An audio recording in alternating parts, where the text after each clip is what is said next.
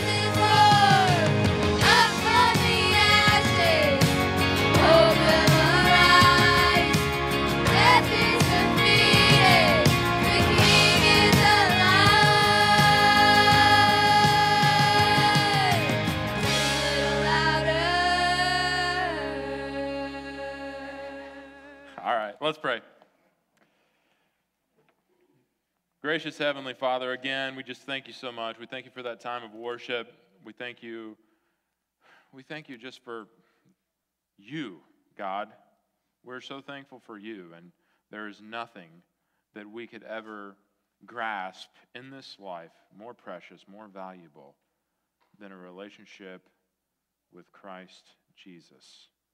Thank you, God, for everything. And Lord, we just ask, I ask to get out of the way, and Lord, speak to us this morning.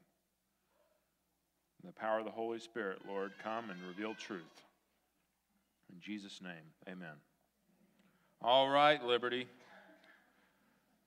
Last week, short review, we talked about the importance of unity in the church. We've been going through Philippians. That's been a major theme is unity. And we talked about ways you could maintain it. And it's not it's one of those things that's easier to talk about than it is to implement, right?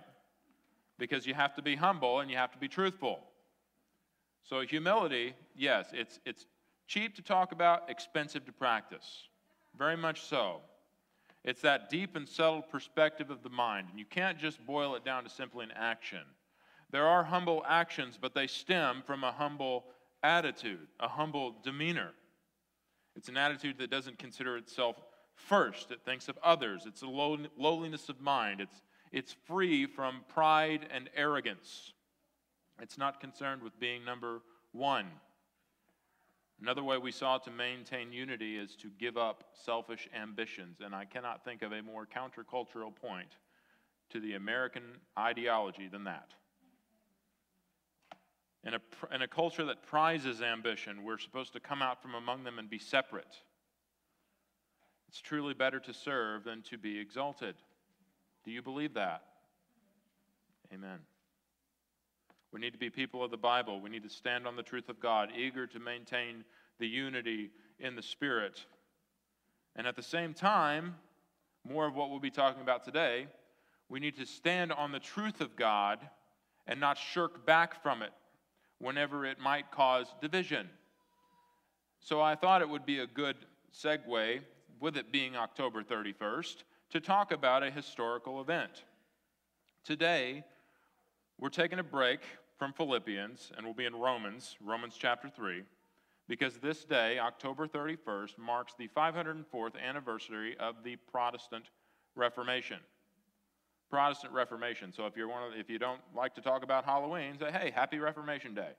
It works. It works. So this message is going to be more historical in some ways than what we're used to. Uh, so if you are visiting, I, I don't want you to think this is the norm. I'm not, this isn't the church that just talks about the Catholics every week. But today I thought it would be relevant and we could glean something from it. So again, we'll come back to Philippians, but this passage of scripture that we're looking at in Romans 3, it's Romans 3 uh, 21 through 28, contains some of the most beautiful words in the entire Bible. I believe Martyn Lloyd-Jones called it the Acropolis of the Christian faith, right here. Everything you need to know about salvation is right here. So before we get into this passage, some of you are like, Protestant Reformation, what is that? What is that? Protestant sounds like another word, right? Let's break it down. How about protest? Okay, a protest is uh, it's, it's speaking out against something, correct? Someone who protests is speaking out against some sort of injustice or uh, something that is not true. So a Protestant is someone protesting. As for the other word, the root of it is reform, reformation, reform, which means to improve from correction or error, deviation. It means to remove of defects, and not just remove of them, but also leave something better in its place. So, the Protestant Reformation, we can see what the intention was a protest against a deviation from the truth of God as found in the Scriptures. So, as much as humility matters and unity matters, guys, some aspects of the truth are important enough to divide on, and this is one of those issues. So, in the 16th century, a German monk named Martin Luther led this charge against the Roman Catholic Church regarding several issues he had with the teachings of the church. In 1517, Martin Luther posted his 95 Theses on the door of the Castle Church in Wittenberg. What was the primary issue for Luther and the other protesters? I'm glad you asked me. the issue was there, there, were, there were several grievances with the Roman Catholic Church at the time. But the primary concern was this doctrine, this understanding of justification. how is a person made right with God? How, how does God justify? And that's the reason for the sermon title How God Justifies. I, I hope we can answer that question this morning. And this, again, you know, I, I recommended a book called Finding the Right Hills to Die On. This is a hill to die on. This is that important of an issue. This is foundational to the Christian faith. But before I get ahead of myself, let's go ahead and read it. So, Romans chapter 3, verses 21 through 28. I love this passage so much, I can't wait to come back and preach it again. Let me tell you. But now the righteousness of God has been manifested apart from the law. Although the law and the prophets bear witness to it, the righteousness of God through faith in Jesus Christ for all who believe. For there is no distinction. For all have sinned and fall short of the glory of God, and are justified by his grace as a gift through the redemption that is in Christ Jesus whom God put forward as a propitiation by his blood to be received by faith. And this was to show God's righteousness, because in his divine forbearance he had passed over former sins. It was to show his righteousness at the present time, so that he might be just and the justifier of the one who has faith in Jesus. Then what becomes of our boasting? It is excluded. By what kind of law? By a law of works? No, but by the law of faith. For we hold that one is justified by faith, by faith apart from works of the law. That's the reading of God's word today. I've heard several, like I said earlier, I've heard several ministers refer to this passage as the apex passage of the Christian faith. It's dealing with this fundamental truth that every one of us needs to hold close and dear to our heart. So notice in the first verse, but now the righteousness of God has been manifested apart from the law. Apart. That is a righteousness not like our own. This is a sense of goodness. Remember the goodness of God? This is a sense of goodness on the person, and we're not capable of achieving it and it exists apart from the law. It's a righteousness not achieved by our acts of obedience. You can't earn it. This is not to say that the gospel equals lawlessness, if your mind's already went there. We'll get to that. Trust me, we'll get to that. But it does mean that the righteousness God requires must come from outside of us. We're not capable of achieving it on our own. And even uh, the prophets being, being um, unexplained in the New Testament understanding of Hebrews says the blood of bulls and goats was not satisfy the wrath of God. It doesn't satisfy the sins that we've sown. So some theologians call this this righteousness, an alien righteousness. An alien righteousness. And there's this Latin phrase, extra nos. Extra nos. So, a good way to understand this is what, what, do, we, what do we call aliens? Some of you are like Martians? What? Foreigners? I'm thinking more uh, science fiction aliens here. Need to. Extraterrestrials, right? An extraterrestrial is an alien. Extra. E- extra means coming from outside, right? strangers from the outside. Aliens exist outside of Earth, they're out there. Then nos would refer to the self. This righteousness is extra nos in the sense that it comes from outside of us. We don't have it in and of ourselves. And that brings us to the first point. True conversion means turning not only from sin, but also from depending on self made righteousness, self made goodness. That is a quote from the great evangelist George Whitefield. It's beautiful. It, it sums up this passage that we're talking about well. And I mean, talk about a life devoted to the gospel. This man, if you, if you want good works, this man, George Whitefield had good works. And he still said this he still recognized that this righteousness that he needed to be right with God came from outside of himself. We would do good to remember that. We must turn not only from sin, that's repentance, turning away from sin and turning to God. That's repentance. We turn away from sin and we also turn away from trusting in ourselves. Trusting in ourselves. We need that alien righteousness. The good that we do will never save us. We must not only turn away from that, but we also have to turn away from thinking that things that I do will earn me favor with God. That's a hard concept, isn't it? It's not about what I do, it's about how great and good my God is. So look at verses 22 and 23. The righteousness of God through faith in Jesus Christ for all who believe, for there is no distinction. And then this second verse that we've all heard several times for all have sinned and fall short of the glory of God. All is pretty covering. All have sinned and fall short of the glory of God. Sin is the rejection of God and a failure to honor God as more valuable than everything else. Sin is rebellion against God. So in Romans, just for context, we're not going through Romans, but this should be helpful for how Paul got to this point.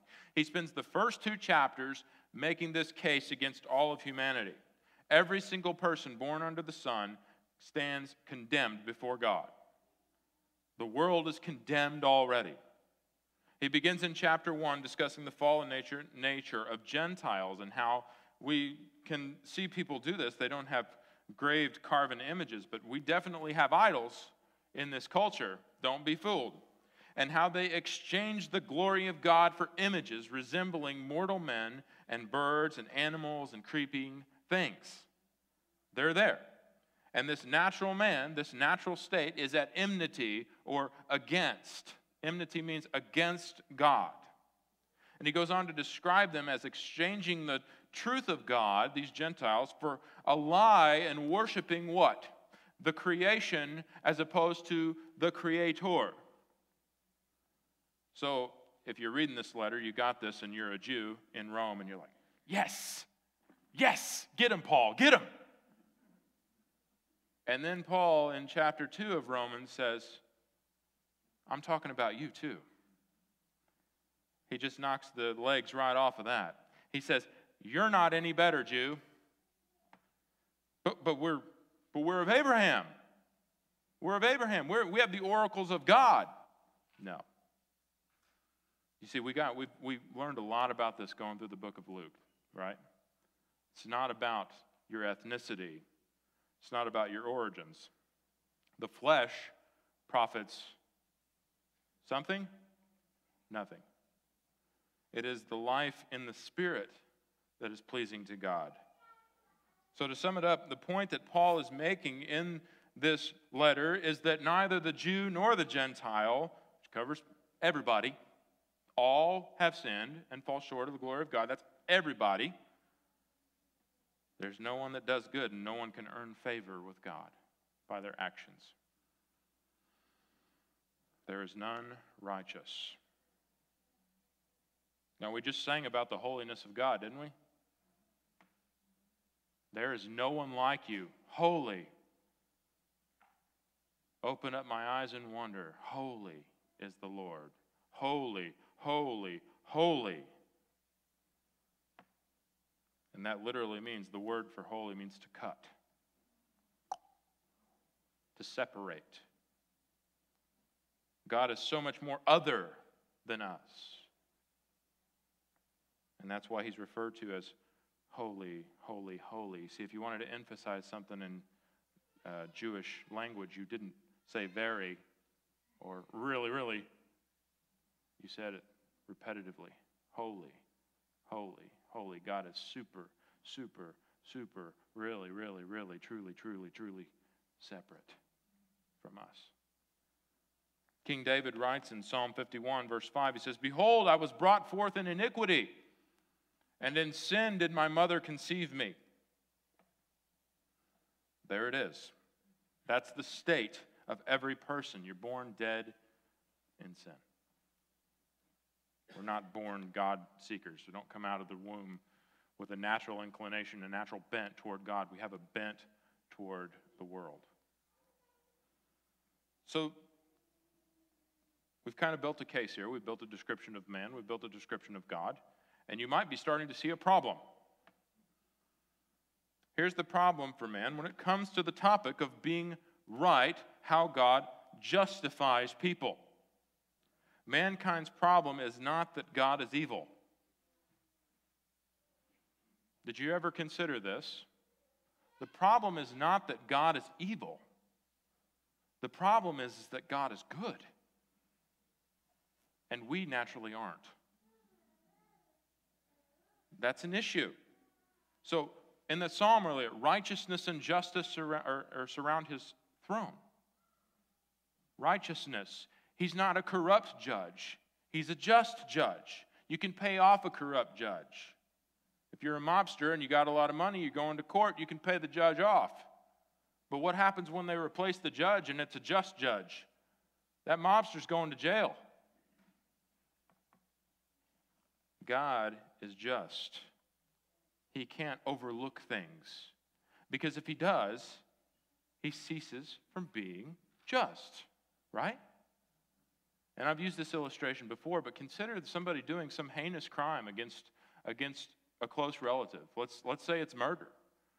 And you're sitting in the court, and that guy's on trial, and then the judge gets up there and he says, You know what? I'm feeling really merciful today. All evidence points to this guy did it. Judge gets up there and says, You know what? I'm feeling really merciful today. You can go free. And if that's your relative, you're going to be filled with rage, indignant against that unjust judge who did not provide you justice. Correct? So God has to deal with sin. If he just, oh, that's okay. If he makes, a, if he makes exceptions, then he's no longer just. Where is the peace? This is the question. For the sinner, it is a terrifying thing to fall into the hands of the living God. Is it not? Where is the peace? Where is our hope if none are righteous and none do good? Where's the hope? That brings us to Rome. What was Rome teaching that needed to be protested? What was Rome teaching that needed to be reformed? And that comes, we come to the second point. Justification is the article by which the church stands or falls. That's commonly attributed to Luther, but I, am not certain he said it. But it's definitely a paraphrase of what he taught. Article by which the church stands or falls. What does this mean? Stands or falls. So we have not yet defined justification this morning. We talk about it a lot, but for the sake of review, now would be a good time to, you know, get in tune with our terms. It is the act, in the simplest form, it is the act of being made right with God. The act of being declared righteous. Justification is the declaration of the believing sinner to be just, and it comes from this imputed or this uh, applied, applied righteousness to the person, and it's the righteousness of Christ. It's the good. And you see a lot of people like, Jesus died for me. Jesus died for me. Yes, he did. He also lived for you. Don't forget that. He also lived for you. That's that imputed righteousness. By faith, Christ's righteousness, again, and this righteousness, did it come from me? No, it was applied. It was from outside. This extra nos, this alien righteousness, it came to me by faith and it's legally accredited to the account of the sinner. And the word declared is important. So we're like, well, I'm not, I still sin, right? I, I still mess up. Well, guess what? This is, this is good news for you. Declared, it means you're not completely righteous yet, but in the eyes of God, you are. You are justified and a sinner at the same time. And if my Latin was stronger, I could use another phrase, but I won't try it. The longer we walk in the Holy Spirit, the more He sanctifies us, church. Right? we as believers in Christ same in the share in the same righteous status that Jesus Christ has before God the Father. That's amazing. This righteousness covers you entirely. So when the Father sees you, he sees the righteousness of Christ. There's one of my sons. There's one of my daughters. Blood bought. Justification is also instant and irrevocable. God has declared you righteous at conversion, and He won't take it away. That's not how that works. What does this have to do with Rome? Some of you are still, what does this have to do with Rome? And I'm not trying to beat up on Rome, I'm just pointing something out. So we bring it all together. This is not at all what the Roman Catholic Church was teaching at this time in the 16th century. Not even close. Now, this is tricky because we can find ourselves using, if, if you're talking with a Catholic, you can find yourself using the same terms. By the way, I was raised Catholic for like six years until I was taken out of the school. Now, I guess I called myself a Catholic, but we didn't, we didn't practice. But, so maybe that means I can speak to this. I don't know. That, that was the point of that. Sorry.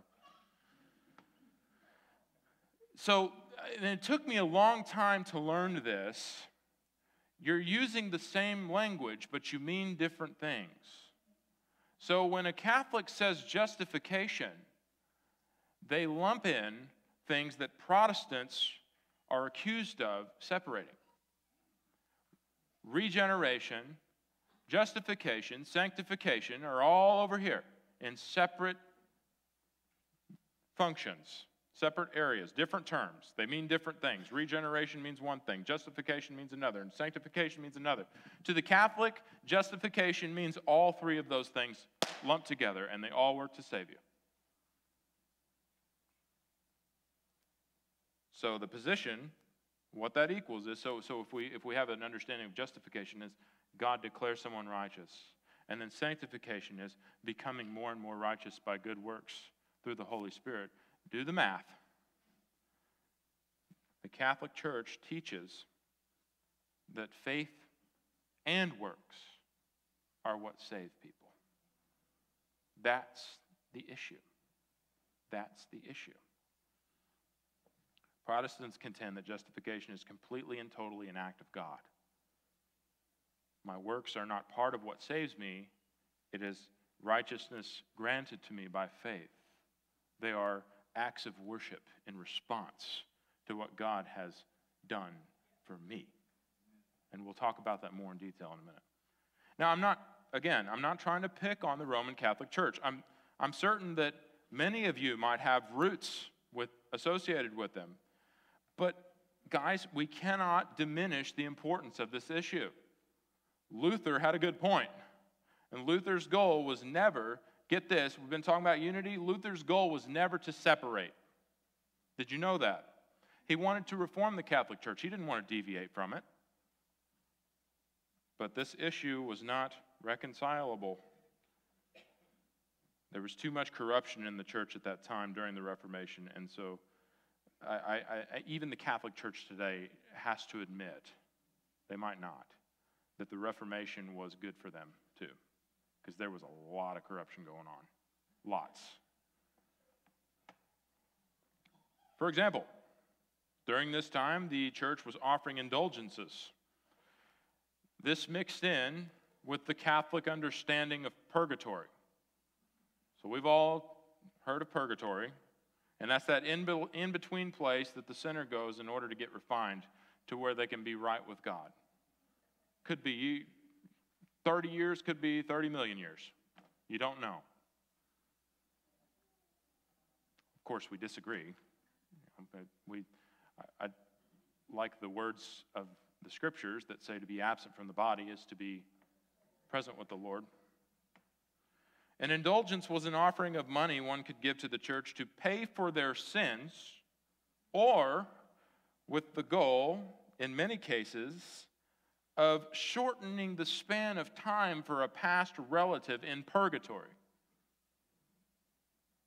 And just it just so happened, big coincidence right here, that Pope Julius II was trying to raise money to redo St. Peter's Basilica. No comment.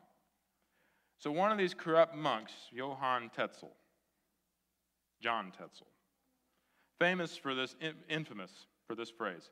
As soon as the coin in the coffer rings, or the kettle, this is the giving kettle, the soul from purgatory springs.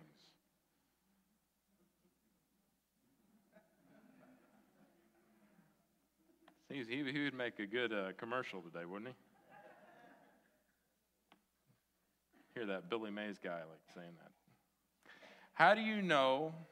You might be thinking, how do you know this guy was corrupt?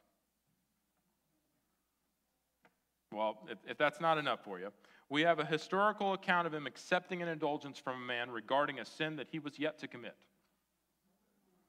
Here's my money. I'm going to go now. This is actually one of the events that enraged Martin Luther to the point to where he nailed the 95 theses on the castle door of the castle of Wittenberg. Another misconception, so I'm going to play a little defense for Catholics because I've heard Protestants say this. Well, you guys believe that salvation is by works, and we believe that salvation is by faith. No. They would say faith and works. Faith and works. But we disagree strongly. It's a synthesized understanding. Both, work, or both are working to save you. So let's look at verses 24 and 26 again. I want to be faithful to, this, to the text. And, and I, could, I could preach on this text next week and get something completely else out of it. It's, it's just that good.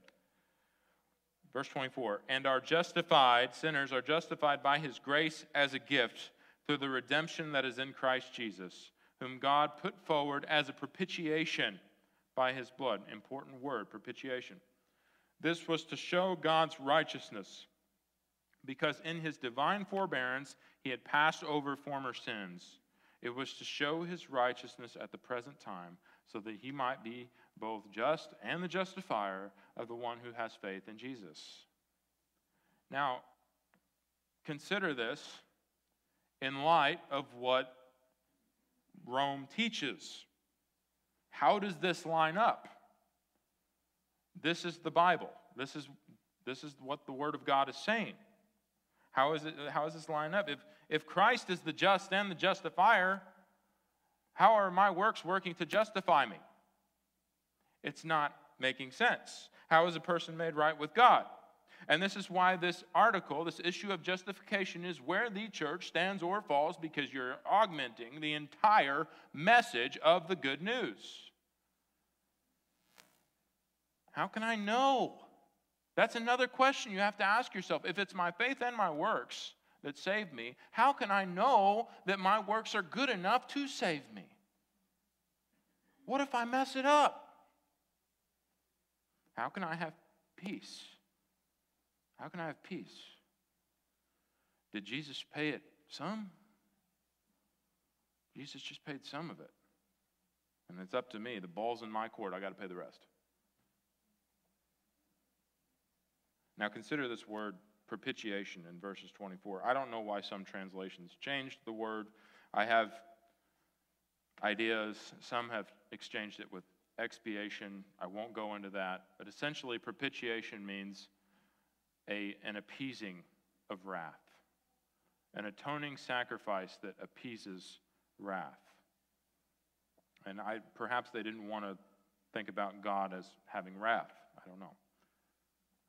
But God's wrath is also glorious because it's wrath against sin, it's wrath against evil, just and righteous. So God's wrath, consider this, is satisfied in the work of Jesus Christ. Completely and totally satisfied. Jesus really did pay it all. Jesus, you, you might surrender some. Jesus paid it all. If Christ paid for all of your salvation, what's left to be owed? That's simple. That's simple transaction. If I owe somebody $100 and then a friend of mine steps in and says, you know what? I'm going to pay the bill and you don't owe me anything. I just want to do it. And he gives the person $100. What am I left to owe? Nothing. Nothing. You didn't know Christianity had math, did you? How much more is the grace of God put on full display in the atoning work of Jesus Christ for sinners than a measly $100? Paid in full. And justification, another reason that I think that this is so important is because Christianity is the only religion that puts justification on the front end. Front end. You can have it now, declared righteous, now, as opposed to hopefully you'll be good enough to please Allah. Hopefully you'll be good enough to reach nirvana. Hopefully, hopefully, hopefully, there's no peace. There's no peace.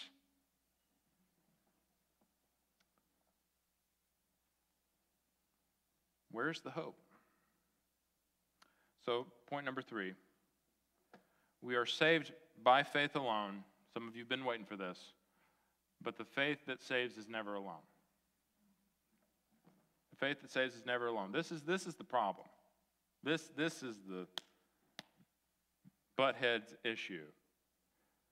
So the quote, the quote is commonly attributed to Martin Luther, and, and you know, when, when if, if a practicing Roman Catholic was sitting in here right now listening to me, this is what they're thinking about. But you're, you don't believe you have to do anything. That's wrong. James says it's wrong. Your, the Bible says it's wrong. Faith without works is dead. You're right. I agree. We just think it means a different thing. So consider this. And, and again, I'll say this real quickly. If you're the person that couldn't wait to get to this point, you might want to check your heart. Seriously. If, if, if you have this attitude of tell me what to do to be right with God, then you might be on a performance treadmill. You might not be resting in the grace of God. Meditate on the grace of God. I am what I am. Christian faith is a personal act on the part of the believer. It's a response in trust to God. Faith that saves is a trusting faith. I believe you, God. Through faith, we receive Christ who satisfies that righteous requirement that we owe in the law. Every single one. Not some of it, not part of it, all of it. Now, works. Any conversation that you have with a Roman Catholic will inevitably go to James chapter 2. And they will tell you, you don't think we have to do anything. Faith without works is dead. What are you talking about? And again, I could not agree more. We just have a different understanding. We have a different understanding of works. So, again, do works help to justify in the eyes of God?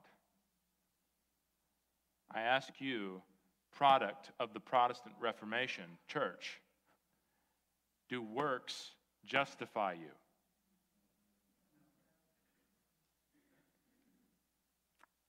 Good. Because that would be completely contradictory to the teachings of the scriptures. The rest of the Old the New Testament is overwhelmingly stronger about people being justified by faith apart from works. It's not good to trust in your works for salvation.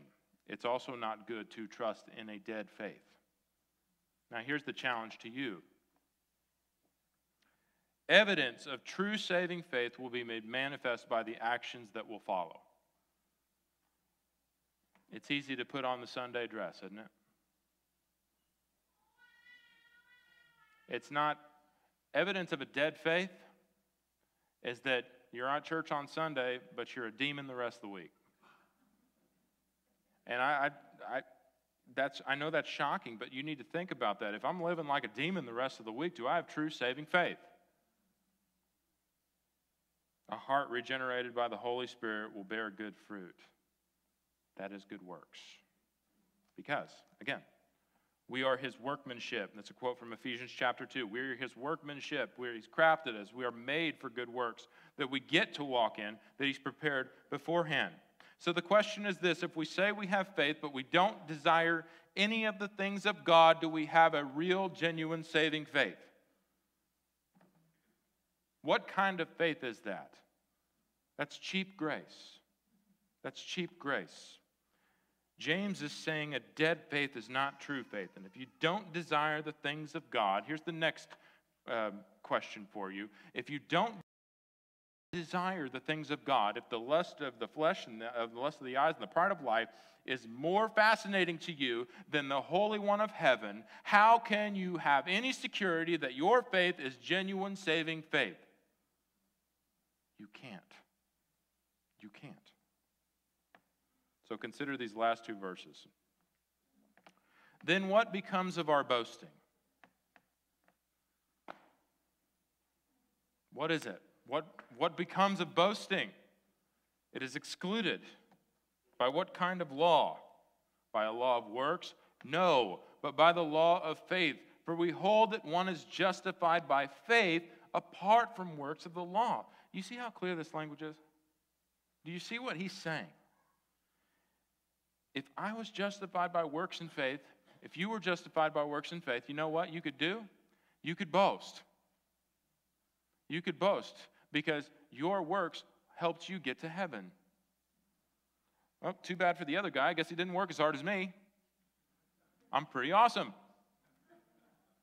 Well done, me and God, high five. See the problem there? If, I, if, I, if it leaves room for boasting, then it's not the true gospel because the true gospel leaves no room for boasting. None at all. None at all. Human achievement goes out the window when it comes to the grace of God. You see, these implications, again, they're talking about these hills to die on. These implications are just too vast to reconcile, guys. They're too far apart. Saying faith and works saves us when the Bible says that Jesus paid for your sins and justified you is so contradictory to the gospel message that we just can't shake hands. I think the desire of the reformers is still to do that with the Catholic Church today, but this issue is still at hand. You see, saying faith and works saves us when the Bible tells us that Jesus paid it all is blatant contradiction. Mark 10 45 says, For even as the Son of Man came not to be served, but to serve, consider this word, gave his life as a ransom for many. A ransom. You know what a ransom A ransom is a price paid to free the guilty from their debt. You free the debtor from their debt by paying a ransom that they couldn't pay on their own. Beautiful. He's not your, he's, he's, that's why we call him Savior. Lord and Savior. Savior, rescuer. His wounds have paid my ransom. And this topic is the entire issue of the letter to the Galatians. If you want some further study, read Galatians. Paul tells us that whoever preaches a different gospel, look out, this is very strong language. This is why the gospel is worth dividing on.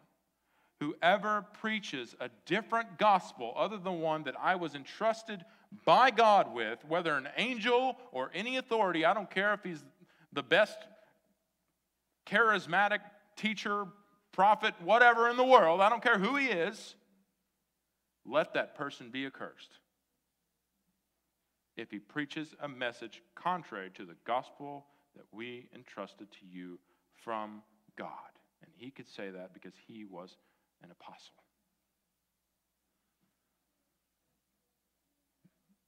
It's worth being fought over, it's worth protecting because it's such glorious news. It's such glorious news. The gospel is the good news indeed. And how fundamental can you get with it? John 3:16. For God so loved the world, he gave his only begotten Son, that whosoever works for him,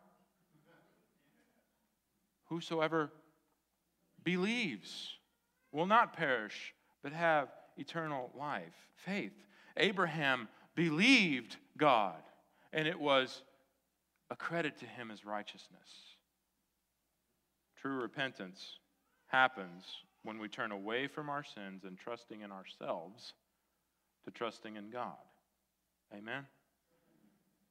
Justification is of the utmost importance when it comes to the gospel because it deals directly with the issue of how someone is saved. How are you saved? Is it me and God, or is it all God?